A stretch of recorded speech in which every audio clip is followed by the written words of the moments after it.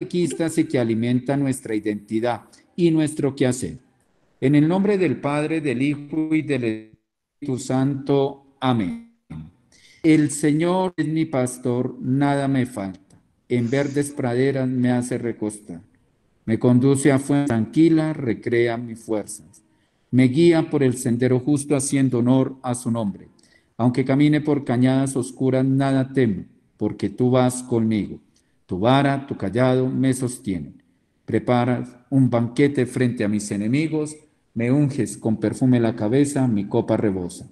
La bondad, la misericordia del Señor me acompañan todos los días de mi vida.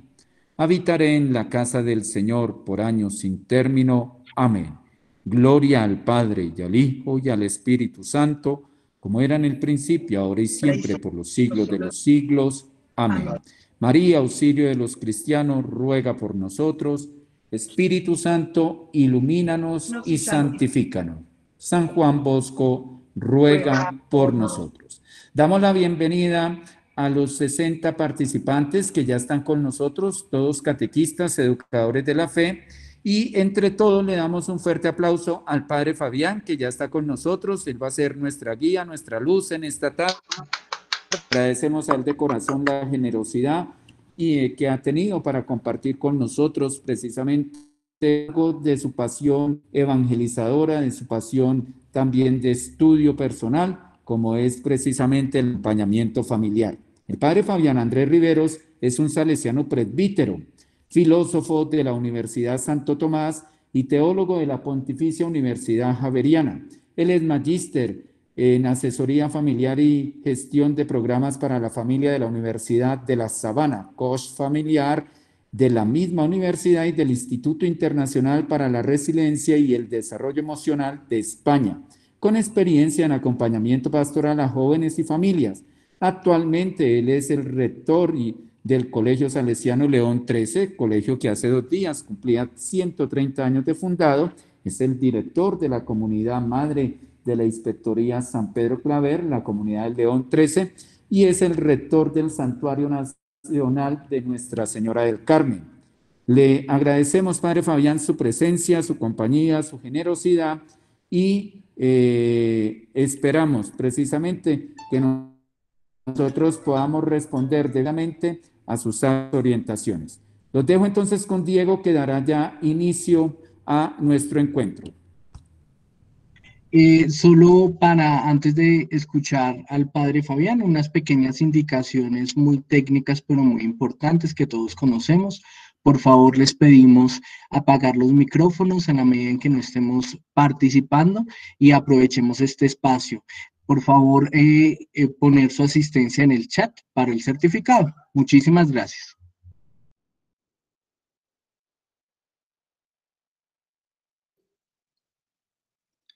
Bueno, muy buenas tardes para, todos los que están presentes. Eh, le agradezco mucho al Servicio Catequístico Salesiano, al Padre Luis Fernando, por la invitación. Me alegra mucho eh, y ya con este auditorio que estoy viendo aquí, ya me llené un poquito de miedo, pero espero que se me vaya pasando porque, porque encuentro muchas caras conocidas, por allá el saludo a nuestras queridas hermanas salesianas, Sor Paulina, la veo por allí muy concentrada, a mis hermanos salesianos que veo por allí, además de Luis Fernando, el padre Frank, el padre Sergio, lo vi por allí, algunos compañeros de trabajo que hemos compartido juntos, vi por allá a Elena de Tunja, la profesora Gloria Alcira, que la veo también muy concentrada desde Agua de Dios, un gusto saludarla y verla. Y a todos los que se me pasen, porque pues solo puedo ver unos poquitos aquí. Eh, pero todos, a Dorita, que también la veo muy juiciosa. Y todos los que están aquí me alegra mucho. Y, y, bueno, ay, yo hubiera sabido que venían todos ustedes, hubiera buscado cualquier excusa para decir que estaba muy ocupado.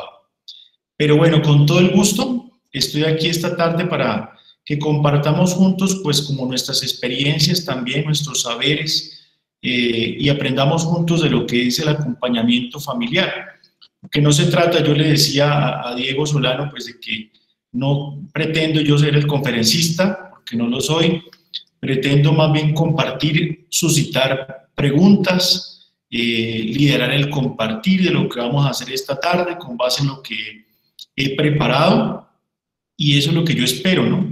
Espero que haya, eh, cómo podamos aquí hacer alguna, de alguna manera retroalimentación utilizando pues esta plataforma de Meet, que podamos ir conversando a medida que yo voy a dar la oportunidad de que conversemos, de que compartamos experiencias, de que alguno me diga una opinión, porque eh, lo aburrido de estas plataformas no es que se sienta uno como que está hablando con una pantalla y no se sabe uno si le están poniendo cuidado o no todos los que hemos tenido que ser educadores en este tiempo lo hemos experimentado, ¿no?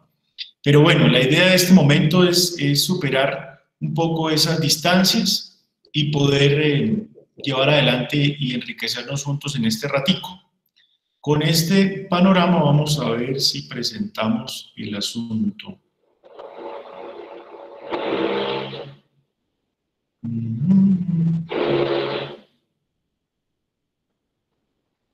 Toda tu pantalla. Bueno, entonces permítanme un momento que estoy aquí tratando de compartir.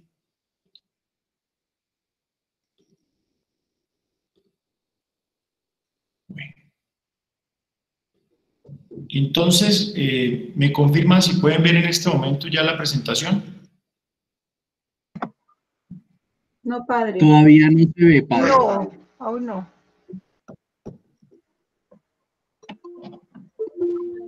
Un poquito, pero...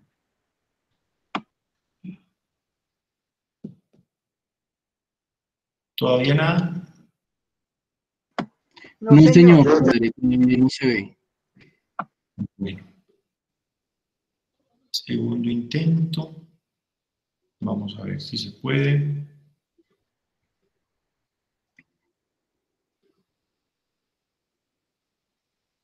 Toda tu pantalla.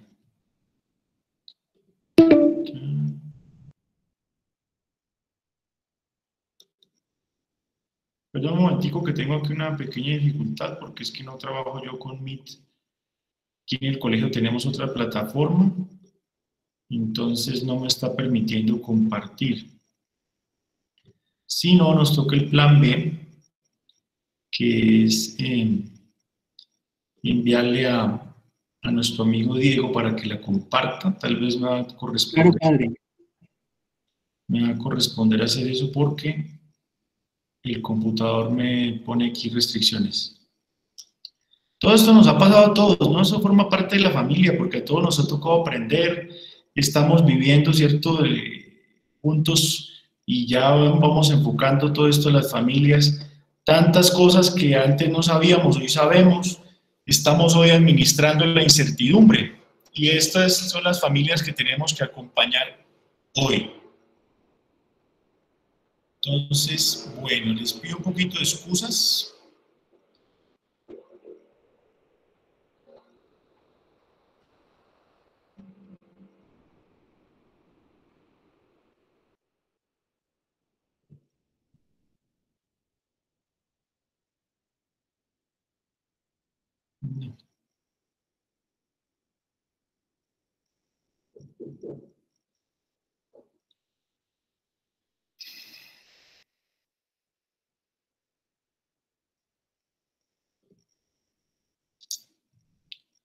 No me ni lo uno ni lo otro.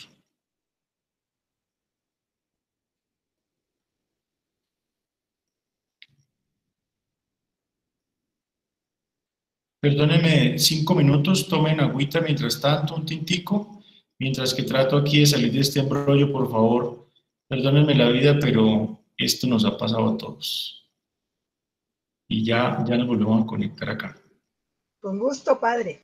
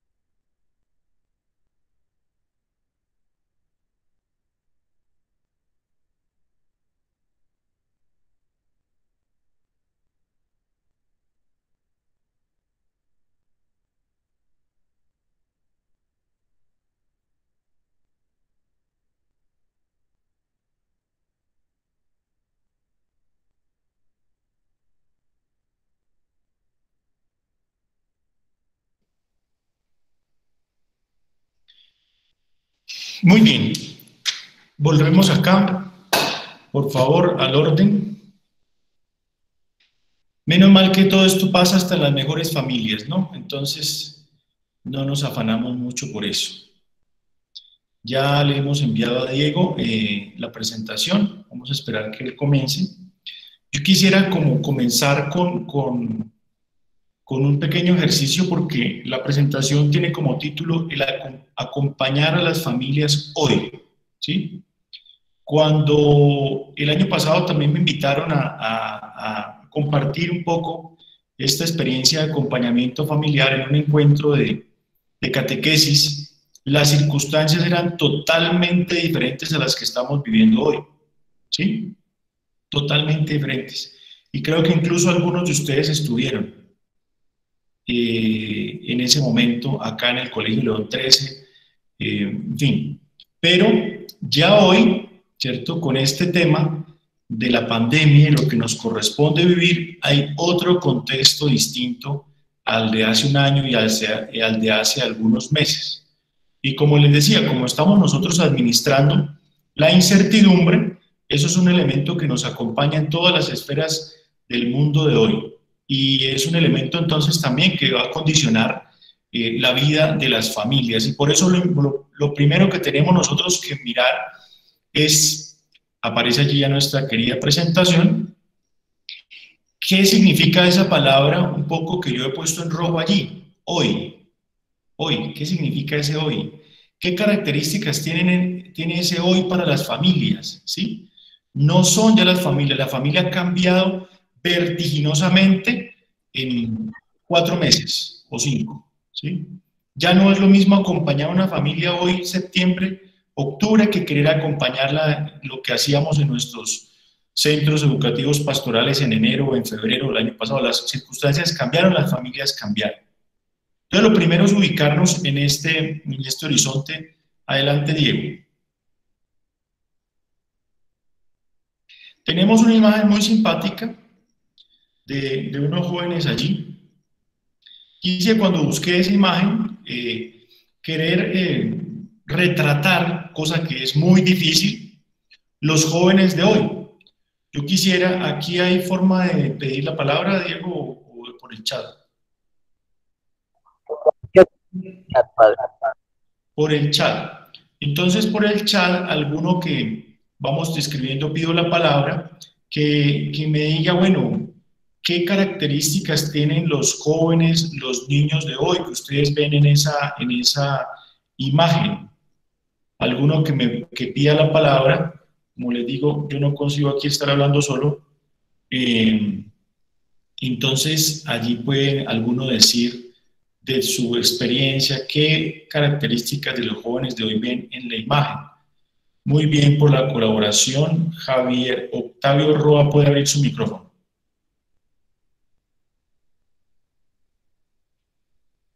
Javier Roa.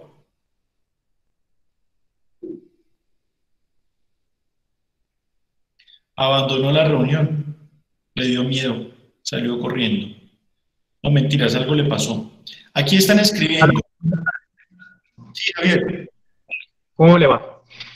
Eh, padre, pues lo que vemos eh, actualmente es que los eh, jóvenes de hoy viven alegres, pero viven alegres pegados a, condicionados a un smartphone, una tablet.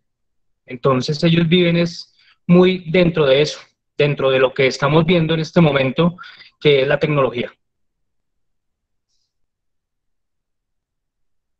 Muchas gracias, Javier. Aquí Ángel escribe buenas tardes, mantiene una actitud distancia, menos afectuosa hacia su familia, quieren cambiar las normas, permanecen absortos muchas veces él de responsabilidades, tiene una actitud negativa hacia las personas, les interesan más los amigos que la familia, un mundo diferente cada uno. Todo esto está como muy negativo, cuidado, porque si somos educadores salesianos tenemos que tener también una visión esperanzadora del mundo y de los jóvenes, a ver, una actitud de despreocupación, cada uno en lo suyo, comprometidos con el ambiente, muy bien, ¿Qué otra cosa tenemos características de los jóvenes de hoy? Pueden escribirle en chat. María Gámez, te escuchamos.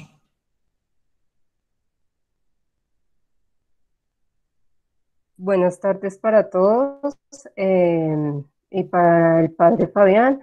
Eh, eh, creo que en este momento eh, podemos evidenciar que los muchachos están muy sumergidos en el mundo de la tecnología, ¿no?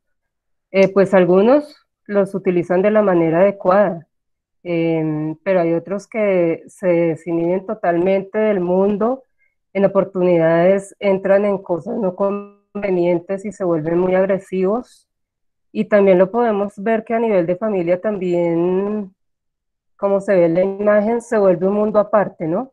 Eh, cada uno en su cuento, tablet, celular, televisor, y, y, pues lamentablemente no se comparte como debiera, como antes de pronto se hacía. Eh, en comparación de lo que estoy viendo yo en este momento de la, de la pandemia que nos cambió la vida a todos, eh, puedo ver a través de mi experiencia como docente que mm, ha facilitado también como en algún momento eh, la unión familiar porque pues estamos en la casa, estamos pendientes de nuestros hijos, llevando como un seguimiento del proceso y analizamos también eh, la metodología que están utilizando los profes.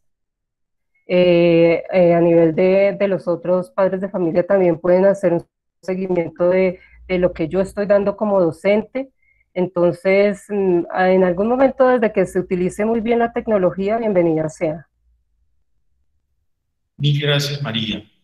Dicen que es, fácil, es fácil comunicarse con ellos a través de la tecnología, son generadores de cambio, hay rapidez mental, valoran la amistad, hay mayor tolerancia, excelente, poseen gran energía, son sentimentales y creativos, son críticos, su creciente habilidad para el manejo de la red los hace diestros y en la interculturalidad les gusta ser líderes, la alegría, tiene una visión global, fortaleciendo la multiculturalidad. Vea que tantas cosas tan bonitas y tan ciertas que ustedes escriben. Bien, pues estos jóvenes, siguiente Diego,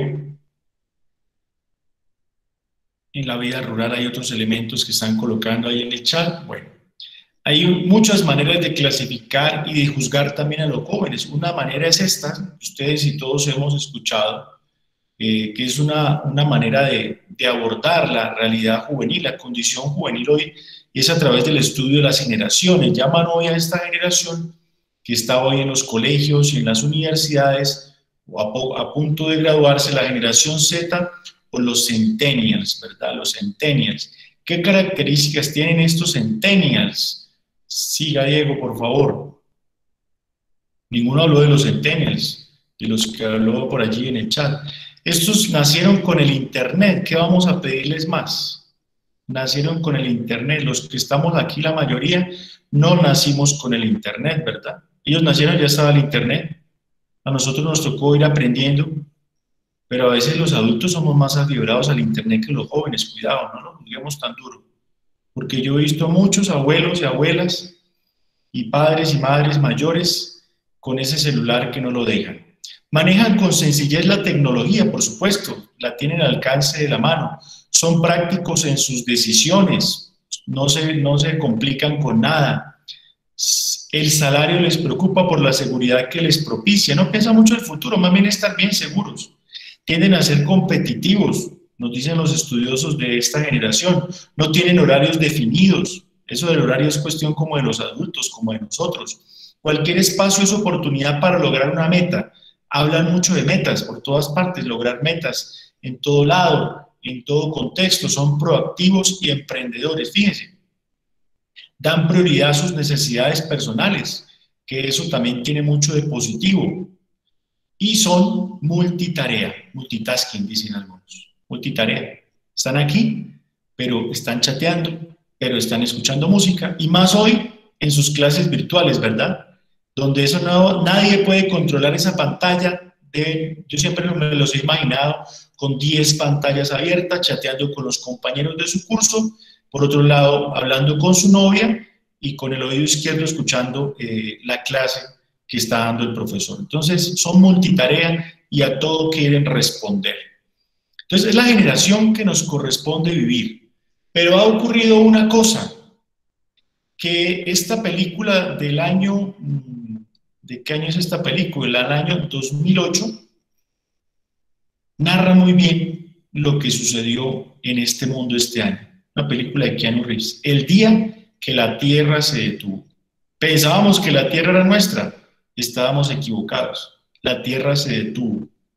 La Tierra se detuvo. Eh, hacia el año 1950 salió la primera versión de esta película. Y hacia el año 2008 vea la segunda versión. Y podríamos decir que la tercera versión es la realidad del año 2020, porque el mundo se detuvo, porque todo se detuvo. El ritmo que llevábamos, el tema, las familias, como llevábamos nuestros proyectos, nuestros sueños, las proyecciones, nuestros trabajos, todo se detuvo. La Tierra se detuvo. En la película narra que llega una nave extraterrestre, ¿cierto? Desconocida de otro mundo y causa pues esa, esa sensación de que todo se detuvo con ese elemento extraño que llega del exterior. Sabemos que hoy es un elemento más extraño que tal vez una nave extraterrestre porque es un enemigo que está oculto, que no lo vemos, pero que está presente y podríamos decir omnipresente en todas las realidades del mundo, incluso en la familia. Avancemos. Y esto de que la Tierra se detuvo determina también algunas consecuencias también para el ámbito de la familia, de los niños y de los jóvenes. Muchos eh, estudiosos, hay artículos científicos, ustedes se imaginan toda la literatura científica que se va a derivar de esta circunstancia que estamos viviendo, van a ser montones de estudios, ya hay algunos, pero se van a derivar miles de tesis científicas para estudiar lo que este año le pasó a la humanidad. Se desconoce el costo a largo plazo que puede tener en los jóvenes la pandemia. Sin embargo, eso ya lo hemos escuchado todos, son claros los efectos devastadores en el sistema de atención médica y la economía a nivel mundial. Todavía no hemos calculado los espacios, las consecuencias devastadoras que puedan tener esta circunstancia de pandemia en los niños y los jóvenes. Todavía no hay tanto escándalo ni, tanta, ni tanto problema porque no abramos los colegios, ¿verdad? Es más, la mayoría somos hoy más a favor de que no los abramos tan pronto pero ustedes calculan el daño de, en la educación y el atraso de los niños y de los jóvenes que están en sus casas, en la edad en que deben socializar, en que deben aprender a manejar sus emociones, a ser tolerantes. Muchos que están haciendo ya, empezando sus procesos básicos de lectura, de escritura, de oralidad, y donde no tienen ahora los compañeros.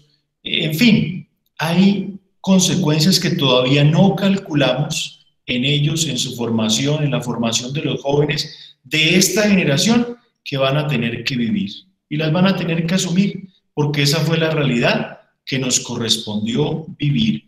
Todavía, y por eso empecé con esa palabra que la he repetido varias veces, eh, hay incertidumbre. Estamos administrando la incertidumbre. No sabemos ni cuándo vamos a volver a la escuela y parece que nadie se preocupara mucho de eso pero sí, y tampoco sabemos qué va a pasar eh, con estos niños y con estos jóvenes. Siguiente. Se habla entonces una expresión que está muy fea, me parece muy fea. Ya de las centennials eh, se habla de la generación del COVID. Estamos haciendo ya, estamos siendo testigos de un cambio generacional. La generación del COVID la generación del COVID. Los vemos allí. Esa foto me pareció excelente porque retrata mucho sus miradas, su tapabocas, su, su encuentro, ¿sí? Porque si hay algo que no extraña, ¿cierto? Los jóvenes y niños de sus colegios y sus universidades, no tanto las clases, dejémonos de decir mentiras, y los contenidos, no, hay algunas clases que se han salido mejores que las presenciales. Pues yo hablo por aquí de León 13, no, no hablo de más. Pero lo que sí extrañan es encontrarse con sus amigos. Lo que sí extrañan es empujarse, es abrazarse, es hablar cerca el uno del otro. En fin, es la generación del COVID. Unos bien con su tapabocas, otros con su tapabocas a media boca. Pero bueno, ¿qué pasa con esta generación? Siga, Diego. Estaban terminando su bachillerato o iniciando sus carreras o sus emprendimientos estaban en el momento de germinar de la vida.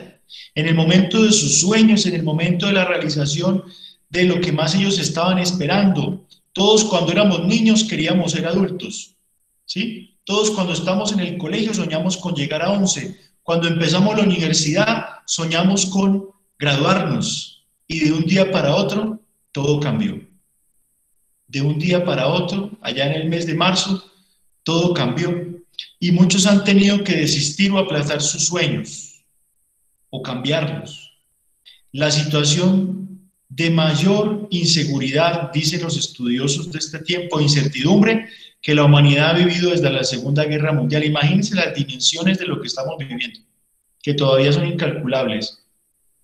Es la sensación, la situación de mayor inseguridad e incertidumbre. Nosotros no sabemos qué va a suceder en octubre, ¿verdad?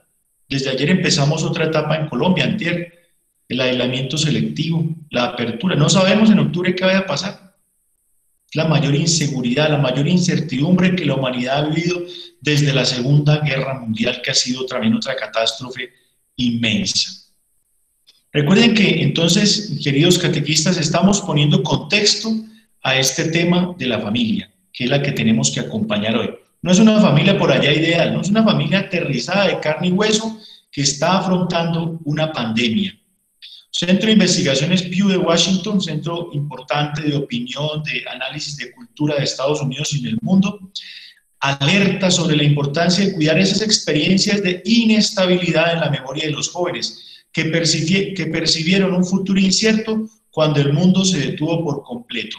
Entonces las familias tienen como una disyuntiva pienso yo, o formar personas que van a ser inestables, que van a ser eh, inseguras, que van a ser eh, eh, personas nerviosas ante el futuro, o van a ser, por el contrario, personas que realmente esta experiencia difícil de la pandemia suscitó en ellos lo que hemos nosotros promovido tanto en nuestros colegios en estos días, ojalá la resiliencia, la capacidad de sobreponerse ante las dificultades, la capacidad de aprender de estos desafíos. No sabemos, hay como varias disyuntivas para la familia. Hay una circunstancia difícil que estamos viviendo cuando el mundo se detuvo por completo y todavía está detenido hacia la incertidumbre. Muy bien, siguiente. Y esto no solamente de los jóvenes, vea, este no está tan jovencito, pero el mundo también pasó por él. Y vemos allí este abuelito muy simpático con todas sus extensiones, con todas sus, sus eh, en fin, sus eh, accesorios, sus tatuajes. Alguien que escriba por favor en el chat qué es lo que ve en esta imagen. Escriban por favor en el chat para que no se aburran de estar escuchándome viendo la pantalla. Ustedes también son ya multitareas, están contestando, pensando en la, clase, eh, mirando la pantalla del computador, pero también están escribiendo. ¿Qué vemos allí en esta imagen tan simpática para unos, tan odiosa para otros? Dicen que produce miedo, esperanza, burla, falta de autoestima, muy indeciso, inseguro, a ver qué más, incertidumbres, fuera de contexto, deformación de su ser, con cachos, rebeldía, cambio de paradigma que vemos allí, resultado de una sociedad de impacto, influencia sobre los corazones, su forma de vida puede ser, llama la atención, falta de personalidad, falta de querer, debilidad para dejarse influencia. Bueno, una cantidad de cosas cada uno podría escribir. Pero fíjense que lo que hacemos con este señor es lo que no tenemos que hacer con las familias de hoy. Lo primero que hacemos con este señor es verlo tal como es. Yo pregunté qué ven ahí. Haz por allá una persona me contestó que con cachos. Bienvenido, padre Juan José Zambrano. Una persona me contestó que con cachos pero el resto, ¿qué, ¿a qué nos dedicamos en este chat? De lo cual los seres humanos tenemos maestría, doctorado, postdoctorado y varios doctorados, nos dedicamos a juzgar a los demás. Nos dedicamos a jugar a ese pobre hombre. Yo, ninguno dijo yo veo un ser humano. Alguno era pues que yo veo un abuelo, un superabuelo allí,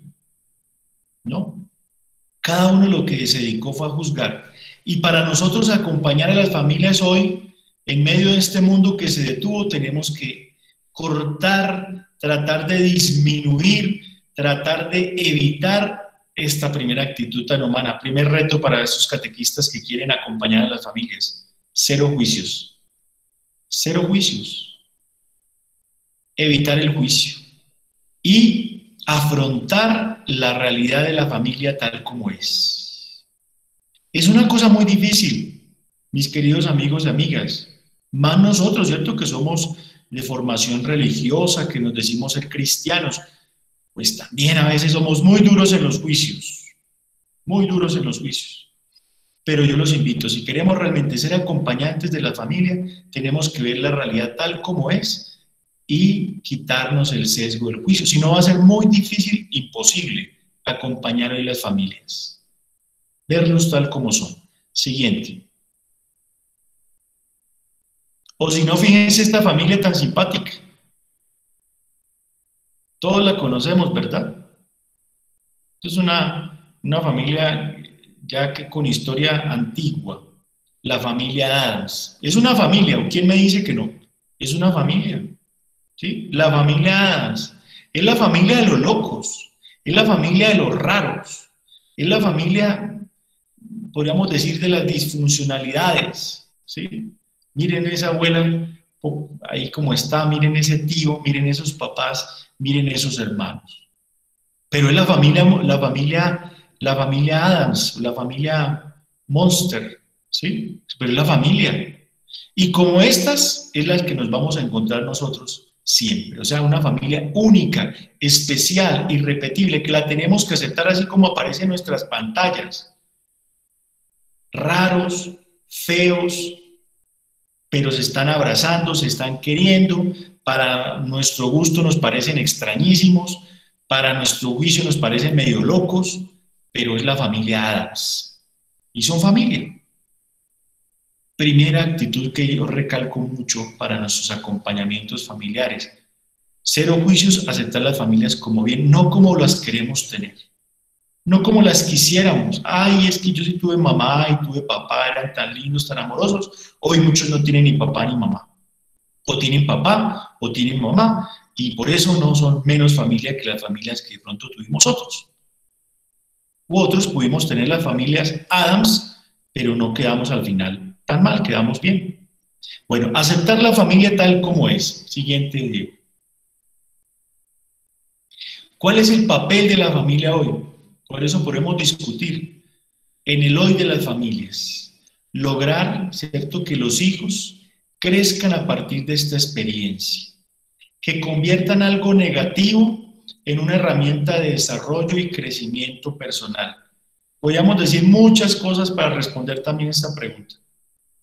Muchísimas. Pero yo creo que esto sintetiza mucho de lo que podríamos hoy charlar. Hay que lograr que esta experiencia negativa, que no sabemos todavía cuándo se va a terminar, mis queridos amigos y amigas, ¿cierto? Esto, la incertidumbre nos acompañará por mucho tiempo, ni cómo va a terminar, pues que esto se vuelva una oportunidad de desarrollo, de crecimiento personal, de crecimiento familiar. Cómo convertir la pandemia en una oportunidad para la familia. Porque ciertamente les digo que la familia en este tiempo de la pandemia ha adquirido una relevancia todavía mucho más grande que antes de comenzar la pandemia. Antes de comenzar la pandemia se hablaba de que la familia estaba en crisis, que la familia se iba a acabar, que había muchos ataques de la familia. Pero resulta que ante la omnipresencia de este enemigo, ¿dónde tuvo que refugiarse la humanidad? ¿Cuál fue el único lugar seguro para toda la humanidad en todas las culturas? La familia su familia. Dorita no se aguantó prender su micrófono. Su familia. La familia. Muy bien. Entonces la familia, podríamos decir que hoy, miren, lo contradictorio de la pandemia, ¿no?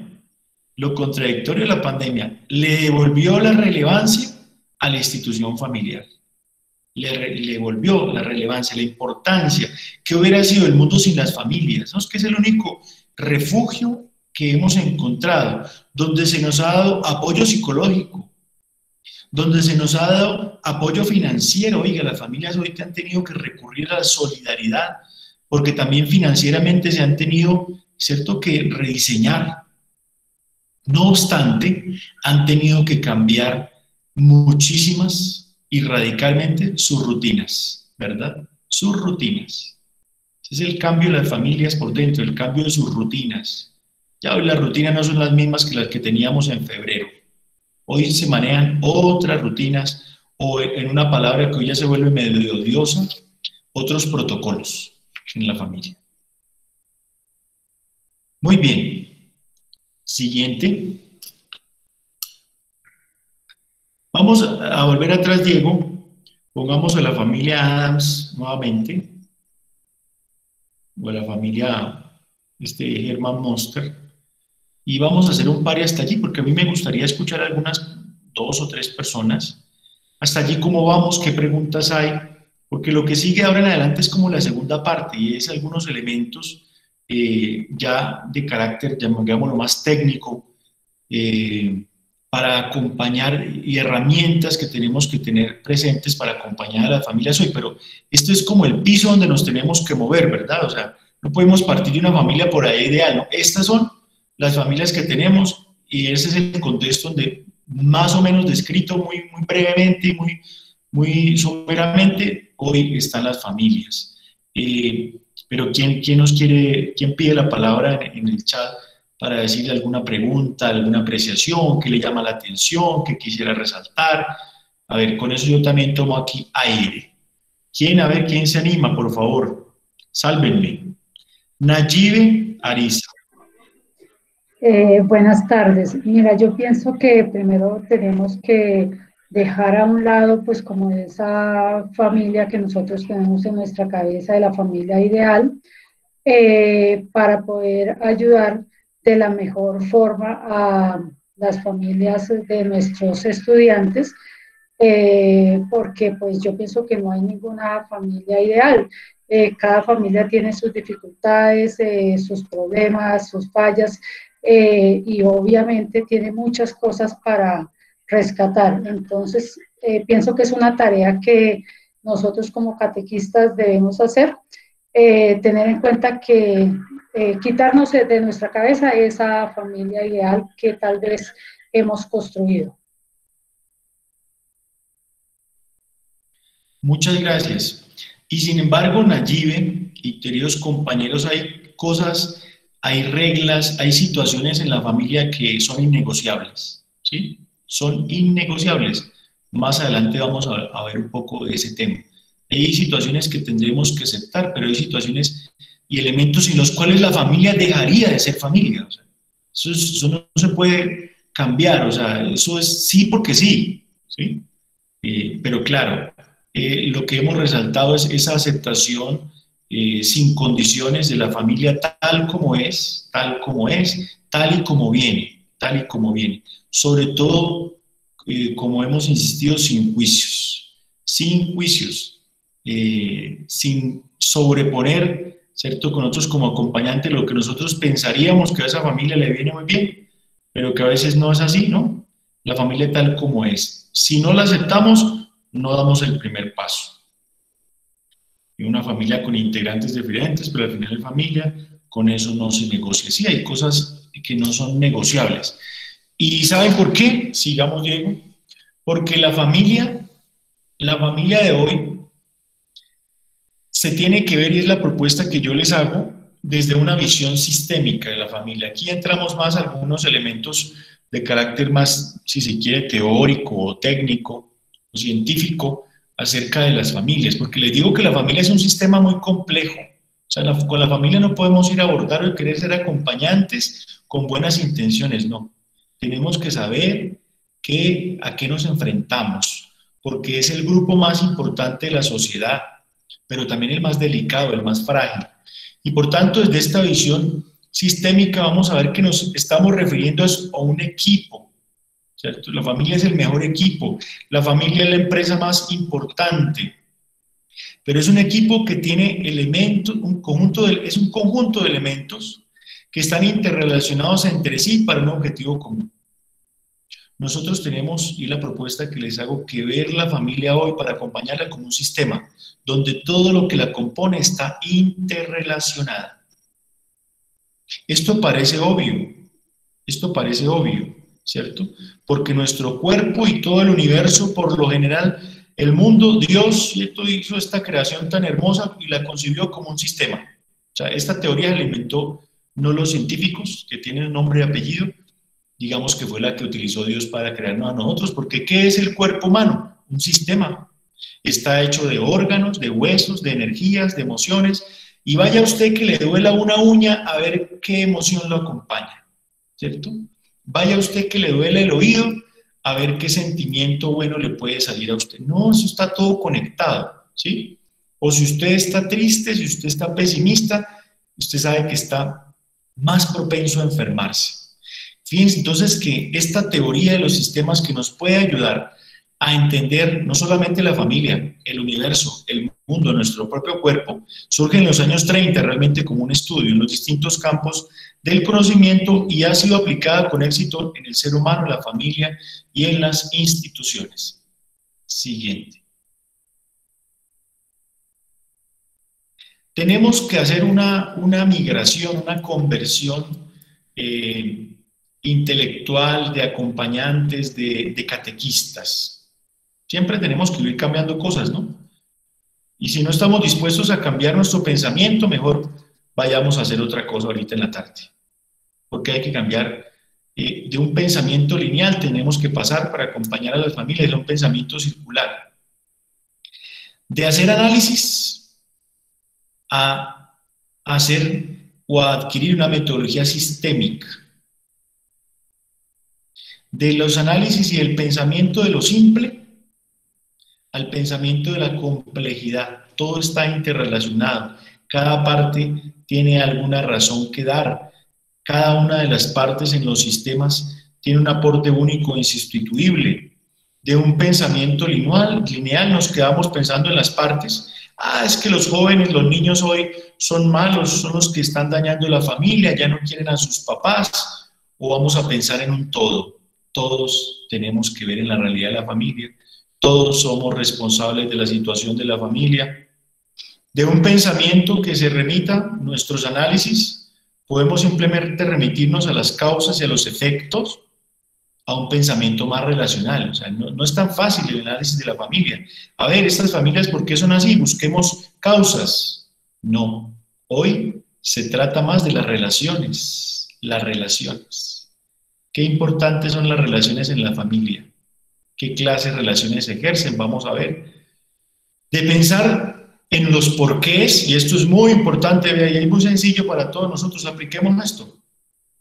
De empezar a preguntarnos frente a esa familia Adams que se aparece o nuestra propia familia, el por qué, por qué me pasa esto, por qué se comporta así, por qué sucede esto con estos papás así, por qué se separaron, a preguntar algo muy sencillo, pero algo que es muy sistémico, el para qué de las cosas. ¿Para qué le sucede a la familia lo que hoy le sucede? ¿Para qué le sucede a estos papás lo que hoy les está ¿Para qué? Hagan este ejercicio con sus familias o con sus niños. Cuando se pregunten, cámbienles el por qué por el para qué. Y verán las respuestas que van a dar ellos y los caminos que allí se abren, porque los hace pensar de otra manera. Entonces, es un cambio de pensamiento. Siguiente. Si alguno quiere, por favor, hacer alguna pregunta, intervención que no esté de acuerdo, también no está prohibido en el chat, como les digo, eh, lo podemos hacer o me piden la palabra, que sería maravilloso para yo también aquí respirar. Necesitamos gafas entonces para ver. O sea, ponernos esas gafas grandotas como ese wow wow que aparece allí en la pantalla. Hay que ver la familia para analizar más los procesos de interacción que hay entre la familia, más que los contenidos, los temas, los valores, no, hay que analizar es qué, qué clase de interacción hay entre los miembros de la familia, esas familias que tenemos hoy en nuestros centros educativos o en nuestros grupos de catequesis. Empezar a analizar y a mirar con detenimiento los problemas relacionales que hayan en, en ellas, más que los problemas individuales. Oiga, es que esta familia está deshecha porque es que tiene un papá alcohólico. o tiene un hijo drogadicto, pues cualquiera de nosotros despreveniadamente vamos a fijar que el problema de esta familia es su hijo drogadicto, o su papá en esta y esta condición, o su mamá. No, vamos a ver qué clase de relaciones hay en esa familia de ese hijo con esa eh, condición o de ese papá con ese problema o ese hermano, en fin, los problemas relacionales. ¿Qué relación de fondo hay en cada uno de esos problemas? De una causalidad circular, vamos a, a tener que ver una causalidad circular, todo está conectado, todo está conectado, una cosa apunta a la otra y es de carácter cíclico más que una conexión lineal, una causalidad lineal. Y sobre todo también nuestra propia participación en relaciones con sistemas. Cuando yo decido acompañar a una familia, comienzo a formar parte de ese sistema. Ojo con eso. O sea, yo no puedo considerarme que es que yo soy catequista, que es que yo soy, eh, yo estoy muy ajeno, yo soy religioso, yo soy sacerdote, lo que sea, no. Comenzando porque todos nosotros también formamos parte de un sistema que se llama familia. nadie nace desfamiliado, llamémoslo así, ¿no? Todos conservamos el vínculo familiar, así sea muy crítico. Entonces, es todavía más complejo porque ustedes y yo tenemos una familia que nos determinan también muchos elementos. Lograr un autoconocimiento que va más allá de lo individual. Entonces, ya aquí hay un elemento muy importante porque no nos vamos a fijar entonces en los problemas pequeñitos de la familia, en lo individual, en aquel miembro nomás. Entonces, tráeme tu papá, yo hablo con él y verá que esto se soluciona si logramos cambiar al papá o la mamá. No, hay que mirar un tema de las relaciones porque la familia es un sistema. Donde se afecta uno, están afectados todos. Si cambia una parte del, sistema, cambia todo el sistema. Y si quieren que una parte del sistema cambie, todos los elementos del sistema tienen que cambiar y estar dispuestos al cambio. Siguiente.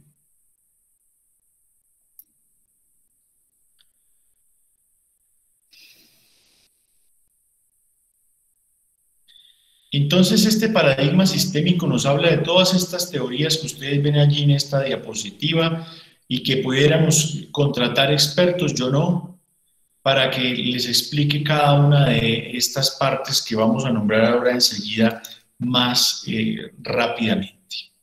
Siga, Diego.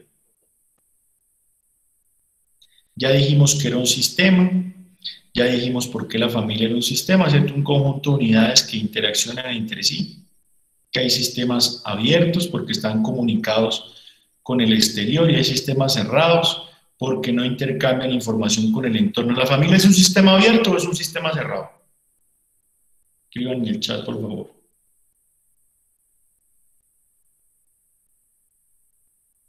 Muy bien, abierto, ¿cierto? No tiene eso pérdida, porque está en comunicación con el exterior. O sea, el ejercicio que hicimos al comienzo fue decir, esta familia vive en un mundo concretico que está en medio de una pandemia, donde el mundo se detuvo y donde hay unas consecuencias todavía que son inciertas. Siguiente. Entonces hay unas características de los sistemas que ya hemos visto algunas, así que simplemente las voy a nombrar de manera muy sencilla.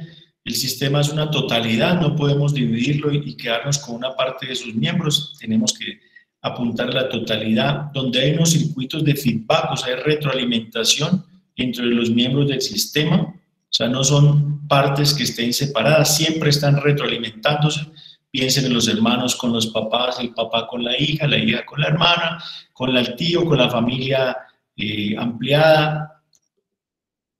Hay una causalidad circular, es decir, las relaciones familiares son recíprocas, a veces son repetitivas, hay una secuencia de conductas. Hay otra característica de los sistemas que es la equifinalidad. ¿Qué es eso?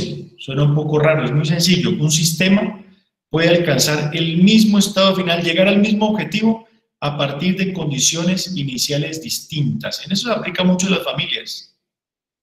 Una familia, ¿cierto? Puede ser una familia muy feliz, como la familia Adams. Se veían contentos abrazándose, pero todos están medio chiflados. Todos, cada uno tiene su chifladura diferente. Y tienen el mismo fin, ¿cierto? Todos son felices, son una familia. Y hay otro, eh, y el otro es la equicausalidad. La misma condición inicial puede dar lugar a estados finales distintos, a estados finales distintos. Por eso, ¿cierto? Una de las consecuencias de estas características de los sistemas es que nosotros para acompañar a las familias tenemos que centrarnos en el hoy de la familia, en el presente, en el aquí y en el ahora, evitando juicios. Porque si nosotros creemos que todas las familias que tengan estas características, donde suceda esto, ah, esa es una familia infeliz, eso es una familia disfuncional, no mentiras. Hay equifinalidad y hay equicausalidad. No todas las causas causan el mismo fin, llegan al mismo fin. Pueden tener fines distintos. Fíjese en la familia, en el hoy, en el ahora, tal como es, tal como es. Siguiente. La cibernética es, la ciencia que estudia precisamente los procesos de comunicación de las personas y de los sistemas. Y hay unas leyes que precisamente nos hablan de la comunicación entre los miembros de estas familias y de los equipos. Siga. Y otro elemento que, que, nosotros tenemos que tener presente es el elemento del constructivismo. Cada individuo percibe la realidad de manera distinta a través de su experiencia personal. Cada uno de los miembros de su familia percibe su realidad de manera distinta. Pregúntele al hijo qué piensa de su familia. Era que es distintísimo lo que piensa el papá muchas veces. Y pregúntele al abuelo, ¿cierto?, qué piensa de su hijo o de, o de la nuera o del yerno. Cada uno piensa distinto y percibe de su realidad. Y el construccionismo nos dice que la realidad se organiza a través de historias y de narrativas culturales, o sea, no solamente lo que yo opine, es que mi cultura también me determina. Es que las narrativas donde yo he crecido también me van creando mi imaginario. O sea, yo no formo parte de la nada. No es lo mismo, ¿cierto? De pronto una familia aquí bogotana o una familia, yo no sé, creo que aquí hay alguien de Cartagena. Vi por allí en, el, en, el, en las inscripciones. Eh, una familia costeña a una familia boyacense o a una familia santanderiana. No, eh, hay narrativas distintas y cada familia tiene su narrativa particular. Yo, en mi familia, tenemos unas tradiciones y unos valores, ¿sí? Que el respeto para mí puede ser distinto a lo que es el respeto para otra familia. Y el respeto. Y el respeto. Por eso cuando tú trabajes los valores con las familias, tienes que siempre preguntarles qué significa este valor para ti. ¿Qué significa este valor para esta familia? ¿Sí? ¿Qué significa? cómo lo vive, porque depende de su percepción y depende de su narrativa cultural familiar. Es distinta. Cada familia tiene sus historias detrás, sus patrones de interacción, en fin. Y terminamos con esa frase de Salvador Minuccini. La familia es un grupo de las personas en una conexión emocional o relación consanguíneo que han vivido juntos el tiempo suficiente como para haber desarrollado patrones de interacción e historias o narrativas que justifican y explican esos patrones de interacción. Siguiente.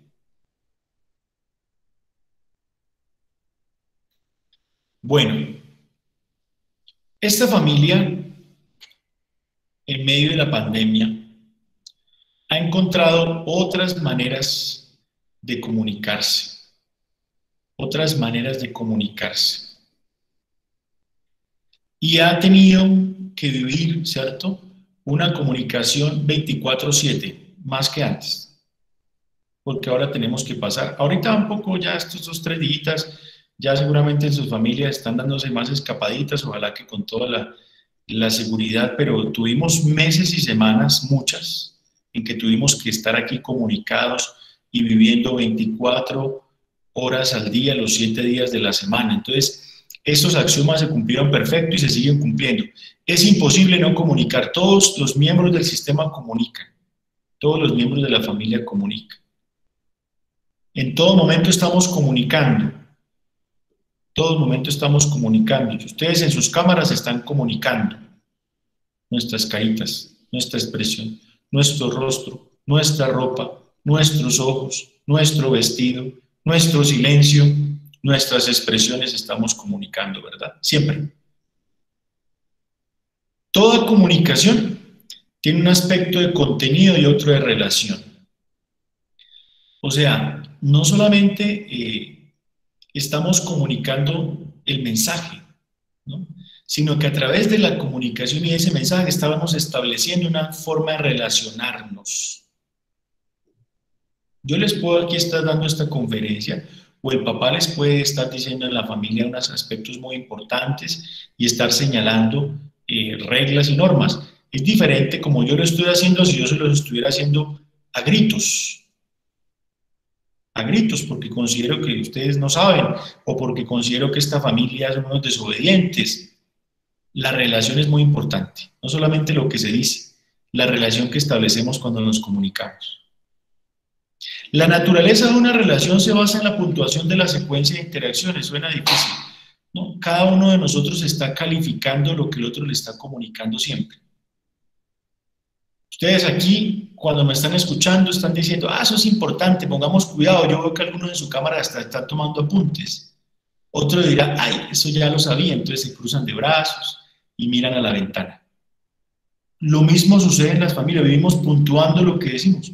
Para los hijos una cosa que a usted le pueda parecer importantísima, para ellos es, vale tres cosas, vale nada, porque le están dando puntuación. ¿Sí?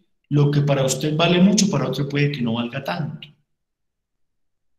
La comunicación puede ser digital o analógica, quiere decir verbal o no verbal. Verbal o no verbal, estamos comunicando siempre. Puede ser verbal o no verbal. Los silencios comunican, las ausencias comunican. Las interacciones pueden ser simétricas o complementarias. Recuerda que estamos hablando, el lenguaje es la teoría de sistemas, pero pensamos en las familias. Las relaciones son simétricas. Piensen ustedes en las relaciones de algunas clases de familia entre sus hermanos. Son relaciones simétricas, todos son hermanos, todos tienen los mismos derechos, pero también puede ser asimétricas hasta en los hermanos, ¿verdad? El hermano mayor tradicionalmente en las familias tenía ciertos derechos que el hermano menor tenía que ir adquiriendo. Y eso tiene también razón de ser en los sistemas, por ejemplo. Pueden ser simétricas o pueden ser complementarias también. Piensen en la relación de la pareja o, o, en la relación padre e hijos. ¿Qué clase es asimétrica o es simétrica o es complementaria? Y eso va a determinar mucho la comunicación. Es diferente pensar que yo le estoy hablando, que el papá le está hablando a unos que son subordinados míos, a unos que son mis hijos. Es distinto. Son mis subordinados, eso es una relación totalmente asimétrica, ¿verdad? O son mis hijos, una relación más complementaria. O yo le hablo a mi papá como un general, ¿cierto? Le estoy hablando como un, un capataz, o le estoy hablando a mi papi, ¿cierto? A mi mamita, o al que también considero hasta mi amigo a veces. Siguiente. Entonces, fíjense que esto determina mucho la manera de comunicar, porque, porque miren lo que dicen los estudios de la comunicación. Nosotros todo el tiempo vemos comunicando y con lo que menos nos comunicamos son con las palabras, imagínense. En la familia. ¿Será que esto se cumple? Lo que menos comunica son las palabras. ¿Verdad o será mentira esta teoría? Es verdad. Piensen ustedes que ahí sí, el silencio dice más que mil palabras, una cara, un rostro, dice más que mil palabras. Las palabras dicen muy poquito, muy poquito, y, el lenguaje corporal dice muchísimo.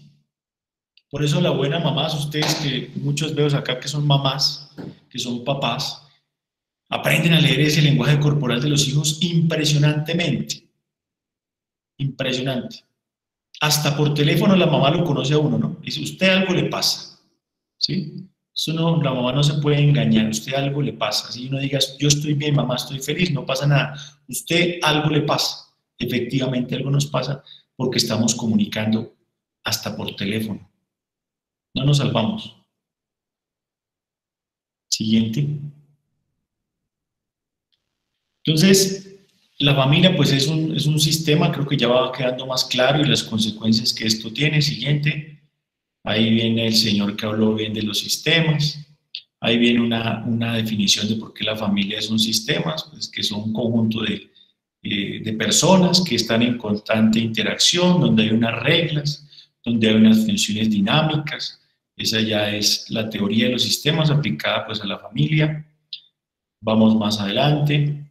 Y entonces, esto ya lo, es como ir sintetizando lo que hemos hablado que la familia, ¿cierto? Como sistema es una unidad, una integralidad, un conjunto de interacciones, o no piensen acompañar familias cada uno por aparte, no, en la familia siempre hay relaciones, entonces hay que acompañar más que personas, vamos a acompañar siempre relaciones, ¿sí?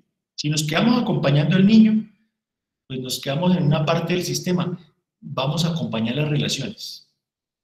No es una suma de individualidades, eh, esto es muy importante. Esta concepción de familia como sistema nos dice que la causa de los problemas familiares son debidos muchas veces a las deficiencias en las interacciones familiares, no en los culpables. Somos felices buscando culpables. Ah, eso fue tu papá que es un viejo tal y cual. Eso fue tu mamá. Es que este hermano mayor. Es que este hijo la oveja negra es a veces la interacción que se dio en esa familia, las relaciones que hay, ¿sí? Entonces, finalmente, ya lo hemos dicho, aquí lo sintetizamos, no debemos de ver las cosas en la familia y su funcionamiento de manera lineal, sino circular. No buscar causas, efectos, sino más bien analizar las interacciones que se dan, los, los feedbacks que se dan en la familia, ¿no? El feedback mutuo, ¿sí? No es que las causas son los papás y los efectos son los hijos, no. Eso hay, hay un feedback, una retroalimentación constante siempre. Hay vínculos y hay roles. Y hay roles, oye, y esto es muy importante, a propósito de la intervención que hacíamos antes. Hay roles y los roles son muy importantes y con esto vamos terminando. Hay unas leyes sistémicas, hay unas leyes que todo sistema tiene que cumplir. O sea, estos, los estudiosos de los sistemas nos dicen que cuando esta ley no se cumple, ese sistema comienza a, andar mal. Entonces yo tengo que ver si como acompañante familiar hay, alguna, eh, hay algún rol de ese sistema que no esté funcionando bien, ¿sí? Es diferente eh, eh, si este sistema mío que es el cuerpo, si yo, a mí me está fallando un poquitico la uña porque se me partió, ¿verdad? Ay, qué pesar, dicen las señoras cuando se les parten las uñas, tanto que se esmera, tenga, se partió la uña, le causa rabia. Ah, de pronto cuando me está funcionando mal en el sistema de mi cuerpo, el cerebro es diferente. Cada uno tiene su rol, su implicación. Sigamos. Bien, ya lo hemos dicho, su relación ahí que el sistema tiene identidad propia, que hay que ver las interacciones, no simplemente como una suma de individualidades, sino es una suma de, cosas, sino una suma de interacciones, porque es que estas cosas están unidas. Las cosas son las personitas que forman la familia. ¿Sigan? También lo hemos dicho, que la familia se construye mediante un sistema de valores. Recuerden que los valores no son los mismos para toda familia. Usted puede vivir su fe de una manera y la otra familia de otra, y sin embargo para ellos sienten que eso es su fe. ¿sí? Las experiencias vividas a lo largo de la vida, las narrativas, ya lo dijimos. Avancemos, por favor. Esa es la síntesis de lo que hemos dicho atrás. No hay culpable, ¿cierto? No hay culpable. Si nos quedamos desde la óptica de la culpabilidad buscando quién es el culpable de esta familia, ah, ese papá. No, no, no, nos va a impedir ver la familia en sus interacciones. El funcionamiento de la familia es circular, una causa pasa a ser efecto y viceversa. Violencia familiar ascendente. O sea, en la violencia familiar, que es un fenómeno también de, algunos lo escribían en el chat, ¿no? Lastimosamente se, vive hoy tan, de tantas maneras en las familias por el confinamiento y por la pandemia, ¿no? Cómo se disparó la violencia intrafamiliar, la violencia sexual, el abuso de las mujeres, de los niños, horrible. El sistema los lazos entre los miembros de la familia son, son tan estrechos que la modificación o cambio de uno de ellos provoca modificaciones y cambios en toda la familia. Miren, eso es lo más sistémico y lo hemos repetido mil veces. Si cambia una parte del sistema, cambia todo el sistema. Si hay una relación que esté funcionando mal, está funcionando mal todo el sistema. Piensen ustedes en una familia donde hay preferencias por un hijo. Eso altera todo el sistema. Piensen ustedes una, una familia donde uno de los miembros tiene una dificultad inmensa, toda la familia se afecta. Es un sistema perfecto, es que esto no funciona nada, nadie por su lado. ¿sí? Las interacciones están supremamente bien hechas porque son muy, además, son vínculos muy estrechos, no que son vínculos de sangre. Sigan. Bueno, ya viene lo que yo les estaba diciendo, que estos sistemas, y por tener unas normas, eh, unas, unas maneras de interactuar tan estrechas, pues tienen también sus reglas, tienen también sus reglas, que los estudiosos de los sistemas las han eh, descrito muy bien y que las vamos a ver ahora en este momento. Hasta allí no sé si hay alguna pregunta, porque hemos hablado bastantico. Hemos querido poner, ¿cierto? Eh, aquí voy a leer el chat, pero voy a hacer una síntesis rápida. Simplemente, primero pusimos un contexto, ¿verdad? Pusimos un contexto. Acompañar familias hoy no es lo mismo que hace cuatro meses. Dijimos que hay consecuencias todavía para la familia que son, eh, que nos mueven desde la incertidumbre. No sabemos qué vaya a pasar todavía, ¿verdad? No sabemos, estamos administrando la incertidumbre. Dijimos además que entonces propusimos que la familia era un sistema. Explicamos que era un sistema, un conjunto interrelacionado de sus partes, donde cuentan más las interacciones que las individualidades Hablamos además bastante tiempo de la comunicación, hablamos de los axiomas de la comunicación y cómo estos se cumplen en la familia. ¿Recuerdan? Siempre estamos comunicando, eh, hay comunicación verbal no verbal, lo que, menos hacemos, lo que menos hacemos es comunicarnos con las palabras los seres humanos, comunicamos más de otras maneras. Y ahora vamos a hablar de las normas de comunicación. Bueno, vamos a ver. Dicen que todo muy concreto, me dice mi fanaticada, que no me critica, entonces me alegra. Eh, otros preguntan acá. Me pregunto cómo la definición de familias de los sistemas se corresponde con el principio de la naturaleza humana. Para mí, me parece que, como decía al comienzo, eh, Dios creó todo como un sistema realmente. O sea, fíjense, y hoy lo vivimos más, o sea, y somos más conscientes de que el mundo es un gran sistema. ¿Por qué esta pandemia es distinta a las gripe española y a la peste negra, no? Pues porque hoy este sistema está más intercomunicado, es una pandemia global, ¿sí? Global, porque ya hoy lo que suceda, lo que sucedió en ese pueblito de China, Wuhan, llegó a la puerta de mi casa en tres meses o en dos, ¿sí? O sea, este sistema está súper comunicado y ya es estrecho, o sea, lo que sucede en otra parte del mundo nos afecta a todos. Tener la visión, a ver, Pedro, ¿qué pasa donde las reglas no las hay en la familia o las hay pero ninguna las cumple? Con eso terminamos, Pedro, vamos a hablar de las leyes sistémicas y de la importancia de cumplirlas. Dora Isabel, tener la visión de la familia como sistema implica valorar y respetar a cada uno de sus miembros, bien valorar. Exacto. Y no juzgar, no juzguen no juzguemos, porque todo el tiempo vivimos juzgando. Tenemos que ver la realidad tal como es y a los miembros de la familia tal como son antes de nuestros juicios, de lo cual no nos podemos desprender porque todo el tiempo vivimos juzgando. Avancemos entonces, para terminar ya. Bien, eso ya hablamos del sistema abierto. Siguiente, Diego.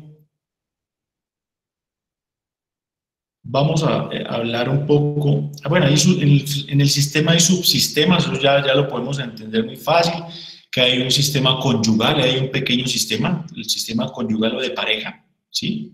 Hay un sistema parental, las relaciones de papá con los hijos también es un subsistema, o sea, cómo se ven esas relaciones. Y hay otro sistema o subsistema filial fraterno, o sea, entre los hermanos hay un subsistema. Otra clase de relaciones con aspectos todos estos sistemas, un tema, por eso los sistemas son complejos de por sí. Tienen sus propias normas, sus propias relaciones, hay influencia mutua, especialmente cuando, los, cuando hablamos de la educación de, de los hijos. Hoy en día hay una nota que parece ahí muy insignificante, pero es importante tenerla. Aparecen otros modelos de convivencia familiar en los que no se dan estos subsistemas. Ahí creo que el padre Moore habló sobre, ¿cómo llama? Las tipologías de familia, ¿verdad? Habló unas dos, tres horas sobre las tipologías de familia, entonces ustedes ya me pueden dar la clase a mí, que no sé mucho de eso, el padre Moore se ha especializado mucho en eso para decir no hay una sola tipología, hay muchas.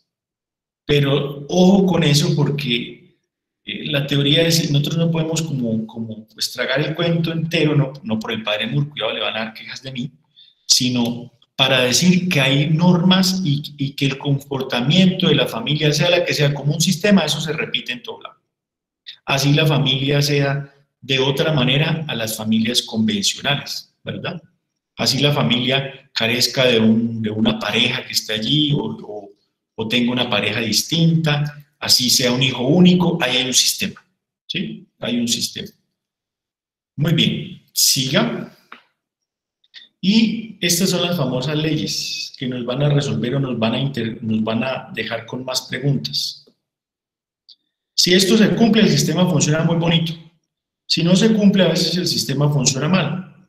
No siempre, ¿no? Aquí no estamos diciendo que esto es la palabra de Dios, te la vamos, Señor, no. Es una visión, cualquiera de nosotros puede tener otra visión y bienvenido. Yo estoy proponiendo eh, simplemente el tema para que, para que lo reflexionemos. Vamos a ver unas leyes eh, que tienen que cumplirse en la familia para que esa familia funcione bien. Esto nos sirve para decir, oiga, vea, lo que hay en esta familia que yo observo de este niño de mi grupo es que, es que no hay jerarquía se perdió la jerarquía, o que no hay reconocimiento, o que no hay equilibrio. Vamos a ver de qué se trata eso. Primera ley sistémica. Todo miembro tiene derecho a pertenecer al sistema y nadie tiene derechos. Eso se cumple en la familia, el único sistema en el mundo donde se cumple. Más en un mundo tan excluyente como hoy. Todos por derechos tenemos derecho a una familia. Nadie tiene derecho a excluirnos de la familia. ¿Sí? Y ahí nos podríamos preguntar cosas tan simples, oiga, en esta familia que acompaño, o en mi propia familia, porque cada uno está pensando también en la de uno, ¿hay algún excluido en mi familia? ¿Cómo y cuándo se excluye un miembro? ¿Cómo sería un plan de acción sistémico teniendo en cuenta la pertenencia? O sea, ¿cómo hacemos para dejar de excluir ese miembro de la familia que lo, que lo hemos excluido? Si hay algún miembro de la familia excluido, eso funciona mal. O sea, esa mamá, ¿cierto? Que le dice, mío, no le hablen a ese papá, que ese papá es un papá que no sirve para nada, mire que nos tiró, mire que no responde, lo está excluyendo. Eso está funcionando. ¿Por qué se excluyó a ese papá?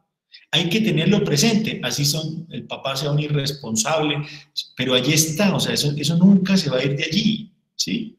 O sea, yo no quiero decir que, que la realidad cambie, pero no se puede excluir, hay que, hay que incluirlo tal como es también para poder hacer algo nuevo en ese sistema. Pero si nosotros, ¿cierto?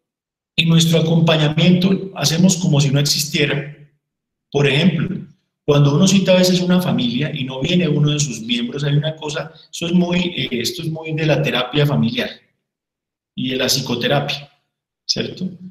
Ahí hay psicólogos, ya Elena me está mirando mal. Pero bueno, tira, me está mirando bien porque sabe que lo que va a decir es verdad. Hay una, hay una técnica terapéutica, es poner, ¿cierto?, la silla vacía, la famosa silla vacía.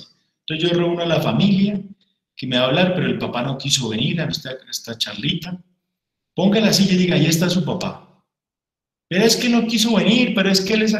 Pero, pero hay que poner la silla porque él está presente. ¿sí? Así lo querramos excluir, ahí está cada uno de los miembros de su familia. Siguiente ley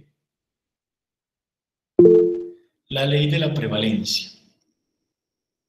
Quien ha llegado antes tiene derecho sobre quien ha llegado después.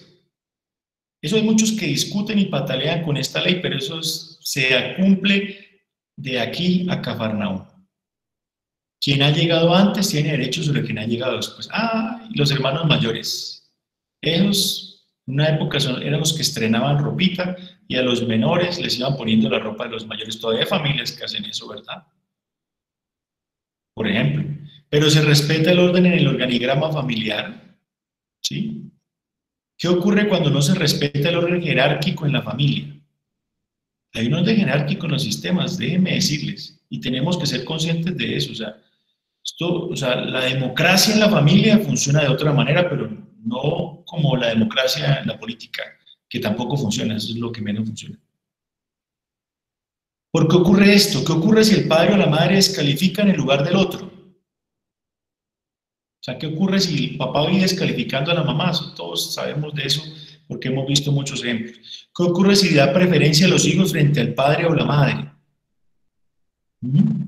La ley de la prevalencia. Hay un organigrama familiar, hay unos hermanos mayores, hay unos hermanos menores, ¿sí?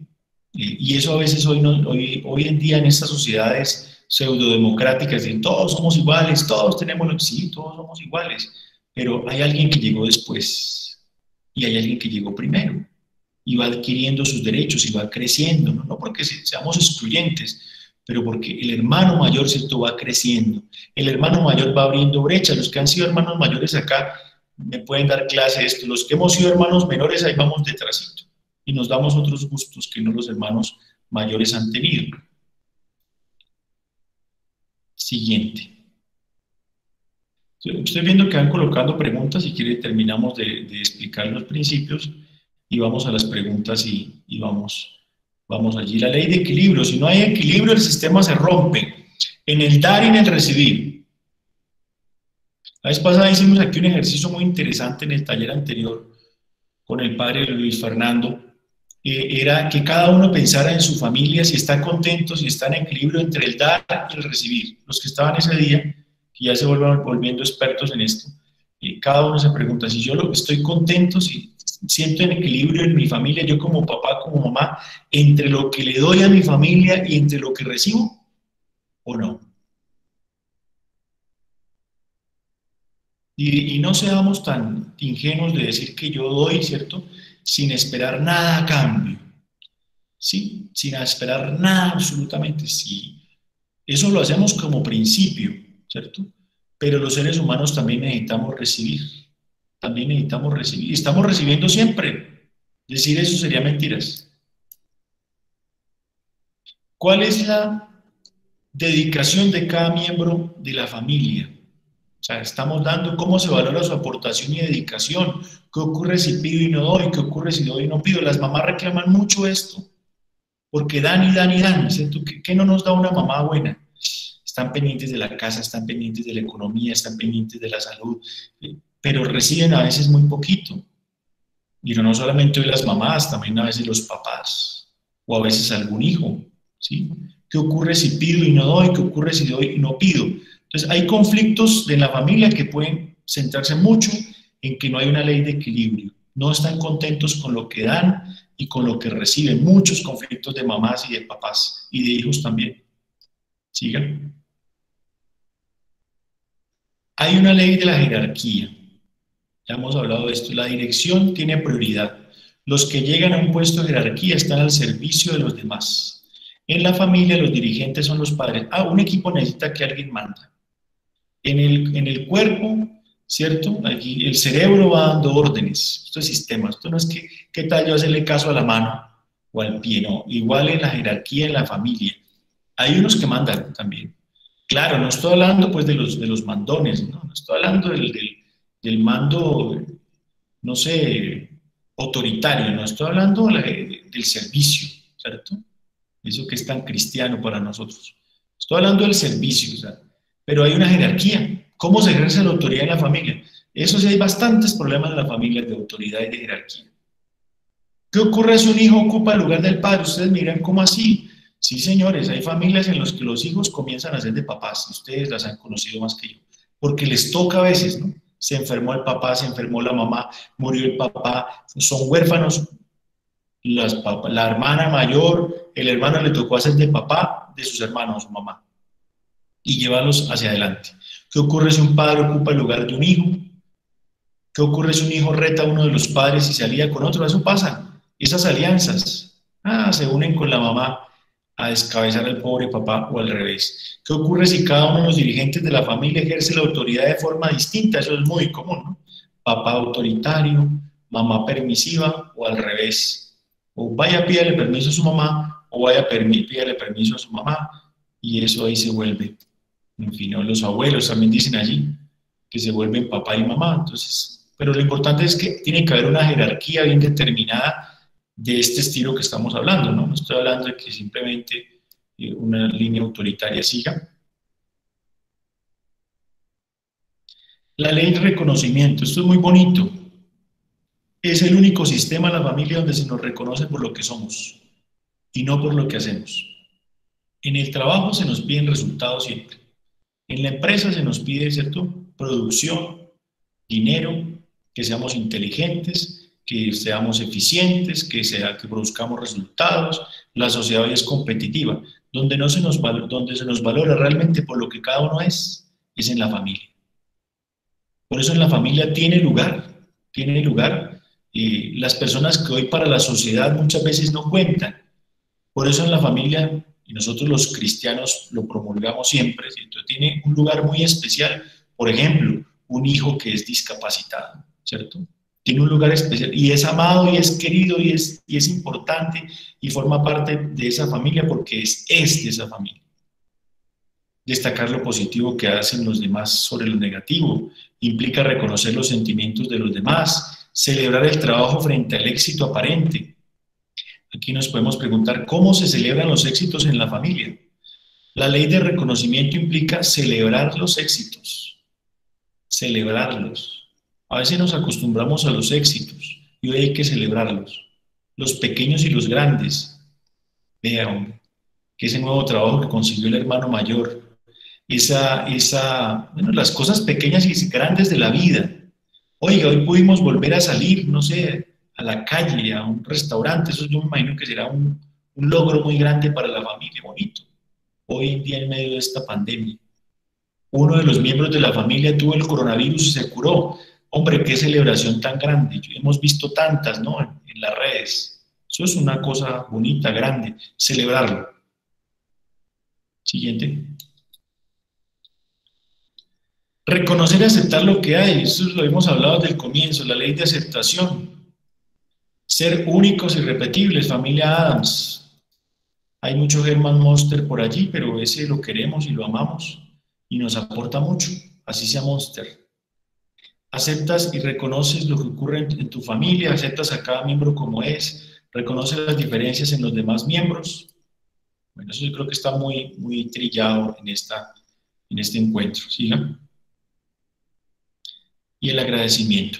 Vamos a hacer entonces el tema de las preguntas que hay allí. Si hay alguna pregunta la pueden escribir en este momento. ¿Qué pasa donde el padre, dice Pedro Rodríguez, que es excluido por su forma de ser?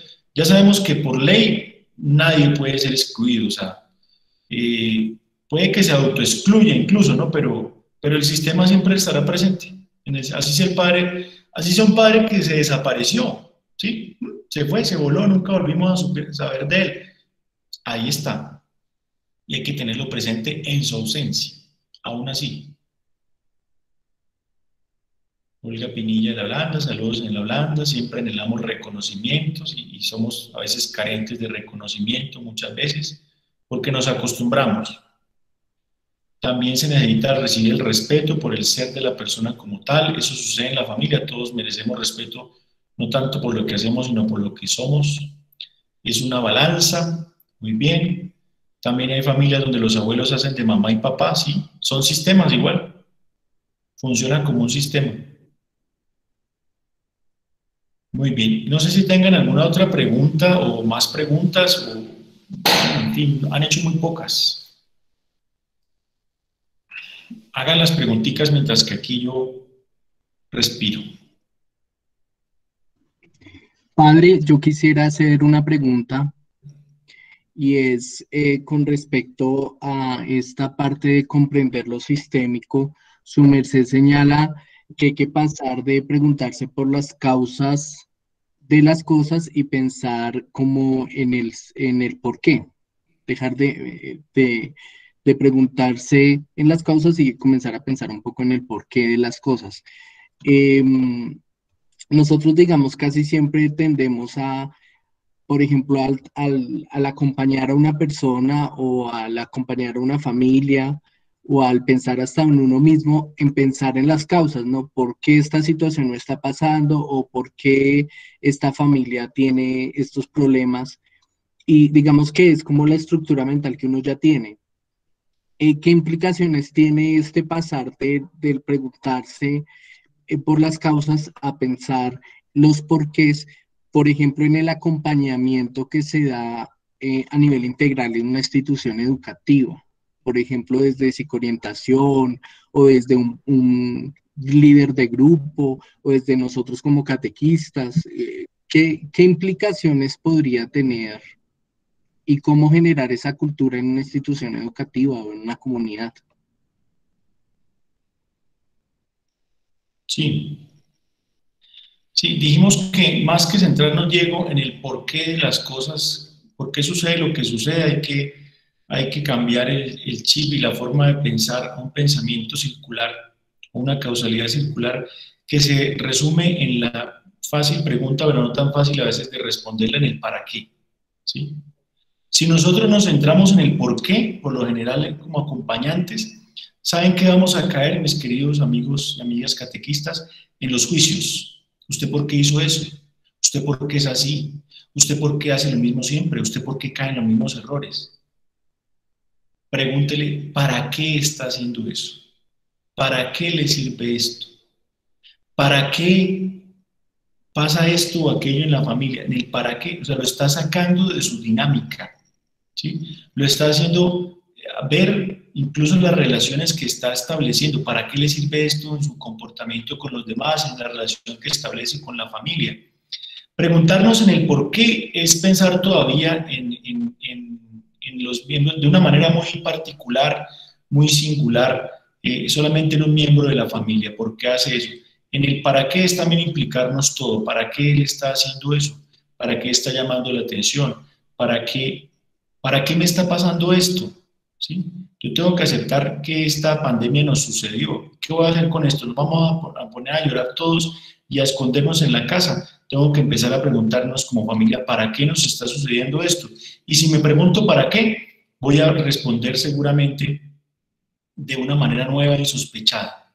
Y es qué estamos aprendiendo de esto que nos está sucediendo. ¿Qué estamos aprendiendo? ¿Recuerdan el objetivo que les propuse de, de la familia, el papel de la familia hoy? que la familia vea de este problema, de esta circunstancia trágica e insospechada, una oportunidad de desarrollo personal y de desarrollo familiar. ¿Para qué le está sucediendo esto a las familias? Oiga, ¿para qué le sucedió esto a las familias? Estar encerradas 24 horas al día, 7 días a la semana por tanto tiempo. Cambiar las, las rutinas que tuvimos que cambiar y que siguen cambiando. ¿Para qué nos sirvió esto? En esos para qué aquí podríamos quedarnos cada uno respondiendo para darme cuenta, para conocernos, para amarnos, para aprender a aceptarnos más de lo que nos aceptábamos, para aprender a limar nuestras asperezas, seguramente entre muchas otras respuestas que se pueden dar. Bien, Diego, eh, dice el padre Luis Fernando que pide la palabra. Aló, aló, no sé si, si estoy siendo escuchado, padre Fabián. Sí, señor ah, bueno, es que antes estaba hablando solo acá. Entonces, eh, bueno, padre, eh, agradecerle eh, para nosotros y quiero explicar también por qué le pedimos el favor al padre Fabián que nos acompañara en esta tarde como catequistas. No solo porque el tema es de, de interés en este momento bajo los tópicos en que hemos presenciado la exposición, sino también porque eh, para nosotros como servicio catequístico salesiano estamos eh, haciendo un estudio de lo que se llama en catequesis la catequesis familiar. Proceso de catequesis es un proceso de acompañamiento. Entonces, hablar de catequesis familiar no es solo sentar a la familia y hacer lo que hacíamos con los niños, o sentar a los papás y que los papás hagan de catequistas con sus hijos nos implica un proceso de aprender a acompañar familias. Y por eso pues acudimos al padre Fabián, que gracias a Dios ha podido eh, profundizar este tema. Eh, este tema que tiene que ver con el acompañamiento familiar.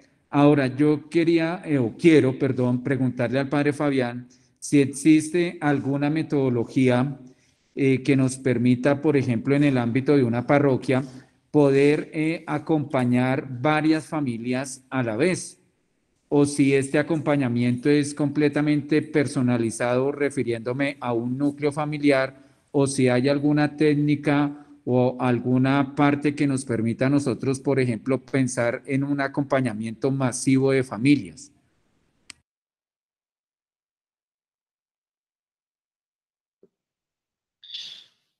Gracias, padre. Padre Luis Fernando, pues siendo un poco consecuente con lo que con lo que he venido compartiéndoles. Eh, si hablamos de acompañamiento y si hablamos de familia como un sistema que hemos venido nosotros comprendiendo, sería muy difícil acompañar a un mundo de familias al tiempo, ¿verdad?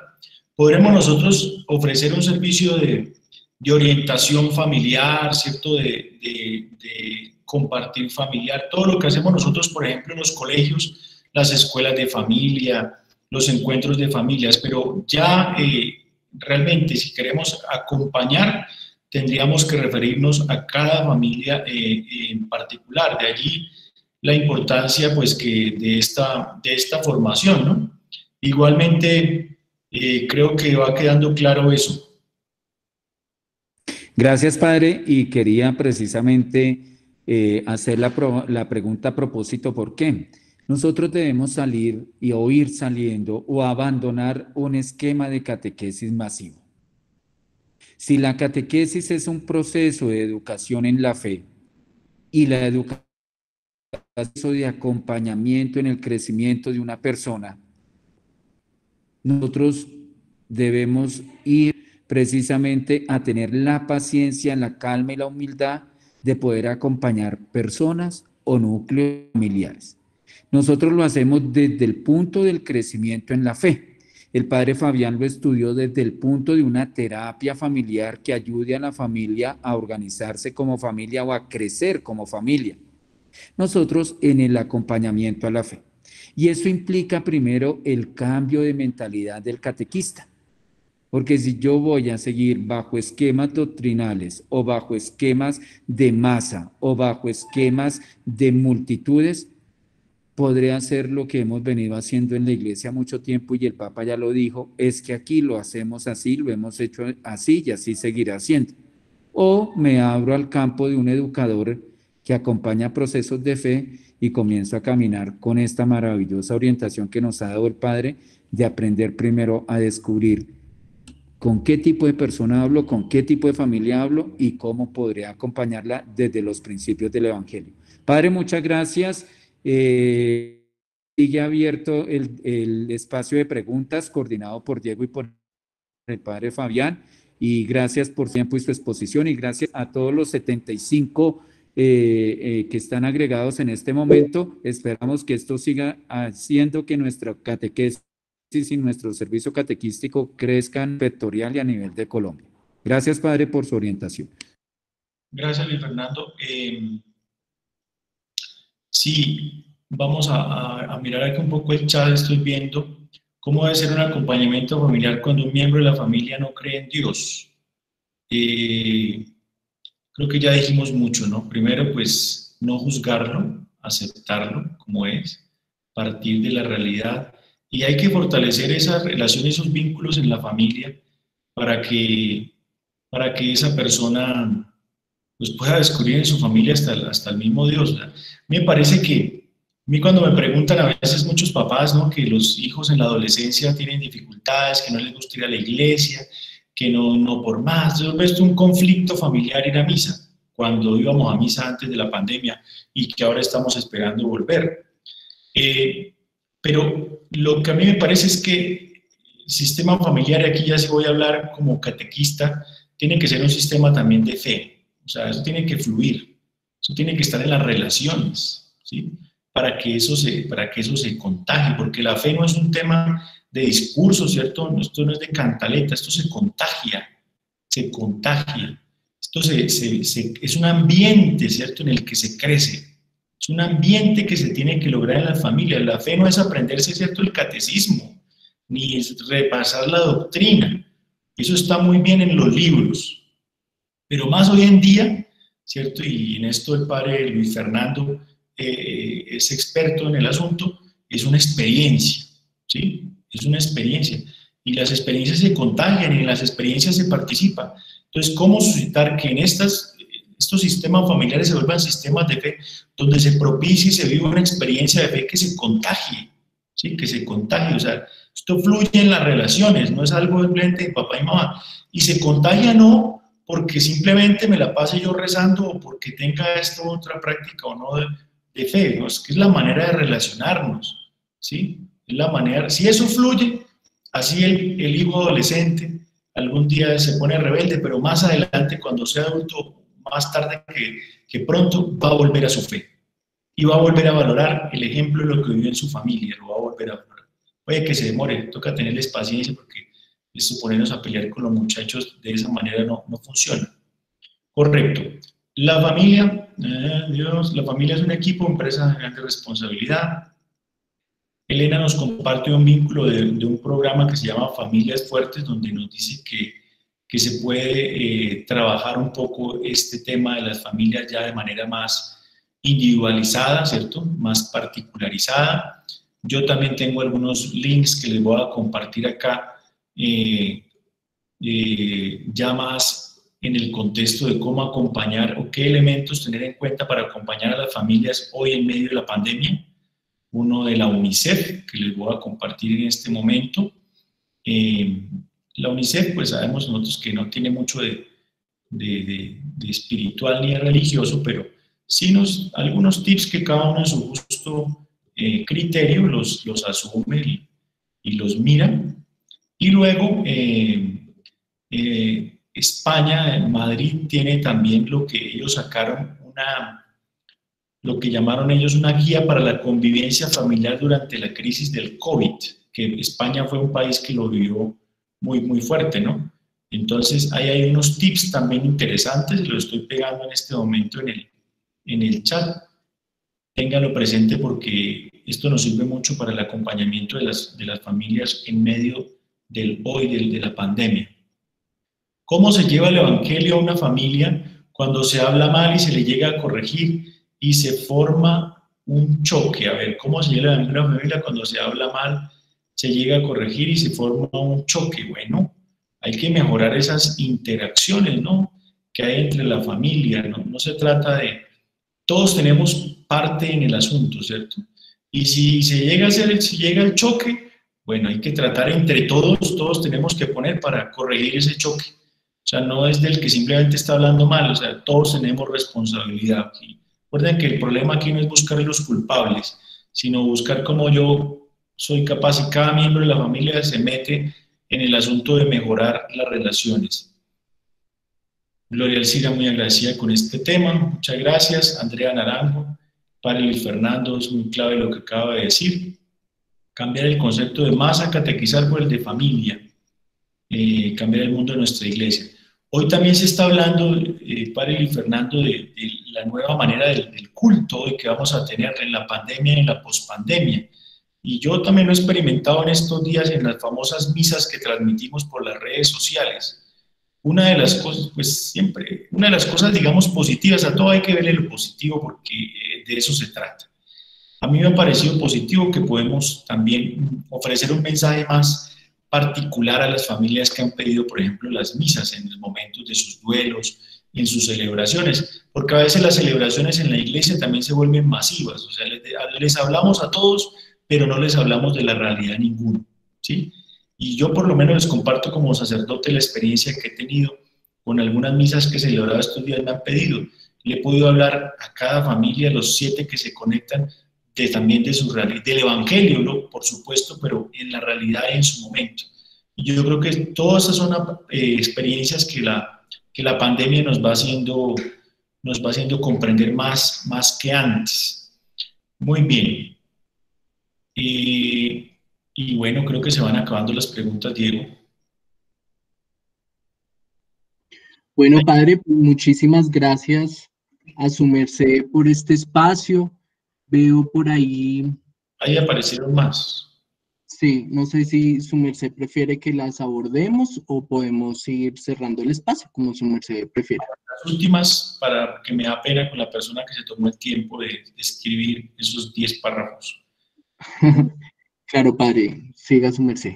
Pena, las experiencias traumáticas, abuso sexual, cómo orientar desde la espiritualidad, cuando la pregunta es ¿por qué? Ayudarle a la persona a pasar el para qué.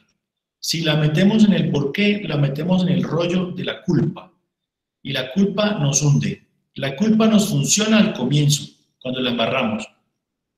Eso la culpa para algo la puso Dios allá en la, en la psiquis, para que nos diéramos duro, pero no para que nos quedemos allí. Hay que preguntarnos, ¿ya qué hago con esto? ¿Cómo elaboro esta situación? ¿Ya para qué me sirve esto? ¿Sí? Los psicólogos son más expertos en esto. Jesús no juzgó al pecador, pero tampoco lo dejó en el pecado. ¿Cómo hacemos para no juzgar a la familia, pero tampoco dejarla en el pecado? Con familias homoparentales, por ejemplo. Sí, eh, no es dejarlo en el pecado, no juzgar, no dejar a nadie en el pecado, ¿cierto? O sea, es odiar al pecado, es amar al pecador, ¿verdad? Eso fue lo que hizo Jesús, creo. Es odiar al pecado, erradicarlo, pero amar al pecador. O sea, el pecador Jesús lo ama como venga, como parental o lo que sea, es amarlo. y, pues dejarlo en el pecado eh, sería mm, no aceptarlo, ¿sí? Y para Jesús eh, el ser humano valía o vale tal como es. Las familias homoparentales que cada vez son una realidad más frecuente en nuestro tiempo, es un reto, es un reto que tenemos que asumir con nuevas, con nuevas dinámicas un reto eh, que no podemos desconocer, yo diría eso hasta allí, no podemos desconocer y es un reto que lo tenemos que asumir profesionalmente, pero también cristianamente. Padre, muchas gracias. ¿Cómo se puede aceptar un hombre muy religioso y la otra persona muy abierta a lo mundano? Esos son los sistemas familiares, cada uno es diferente. Conectar eso, hay que aceptarlo y echar para adelante y tratar de vivir ahí la familia de la mejor manera que, que se pueda. Muy bien, Diana Lucía y Esperanza por sus, por sus agradecimientos. Bueno, ya vamos a completar las dos horas. Yo le había dicho a Diego Solano que esperaba no pasarme de una hora, pero una cosa es lo que uno planea y otra lo, lo es, es completar. Eh, aprovecho para agradecerles a todos y cada uno. Me encanta estar aquí. Felicito al servicio catequístico porque, mire, esta es una de las cosas bonitas de la pandemia. Si no hubiera habido pandemia, seguramente sucede como sucede. Eh, les agradezco mucho, me encantó ver y escuchar aquí personas conocidas que ya saludé a algunos y, y aquí están en el corazón. Un abrazo para todos, bendiciones y a la orden por acá. Gracias Diego y gracias Padre Fernando. Padre, muchas gracias, Padre Fabián. Dios le pague. A nuestros queridos acompañantes, eh, les decimos que seguimos conectados. Ya Diego nos irá a informar. Eh, tenemos dos temas. Eh, uno sobre la experiencia de catequesis en la Arquidiócesis de Bogotá, cómo se ha venido renovando. Es un tema muy importante.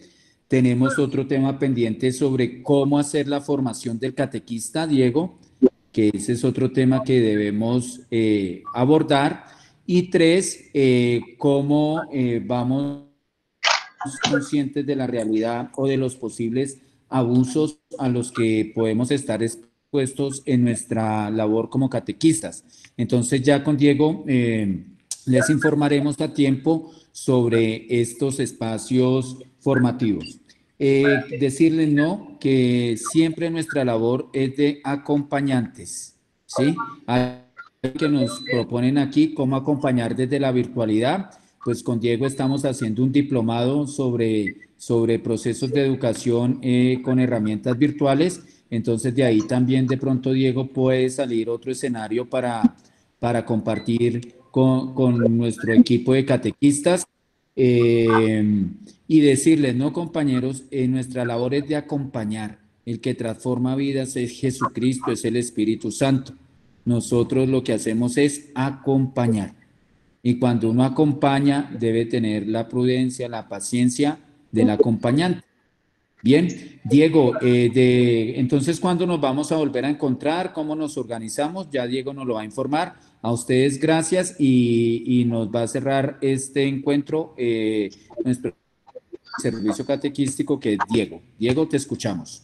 Muchas gracias, padre. Efectivamente, con este webinario del día de hoy, cerramos nuestro primer ciclo de webinarios con los primeros cinco, en los que abordamos algunos temas que urgían a partir del conocimiento de la realidad de nuestras casas, como lo fue la tipología familiar, el acompañamiento familiar, las orientaciones de acompañamiento en adolescentes y jóvenes, la catequesis como proceso de educación en la fe.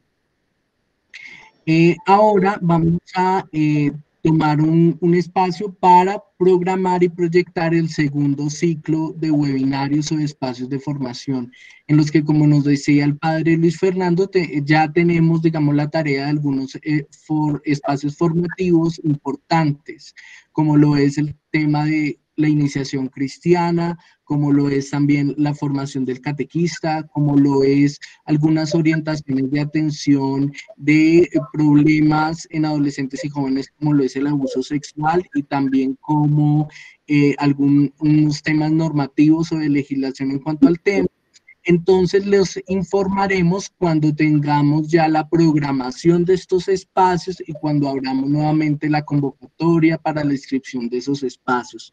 En cuanto a las memorias de los webinarios, eh, el del pasado viernes, si Dios quiere, mañana les enviaremos a todos los que participaron los certificados y el link del video del webinario. Y el lunes, si Dios quiere, les enviaremos entonces el de ese webinario, tanto los certificados como el link del webinario, del video del webinario.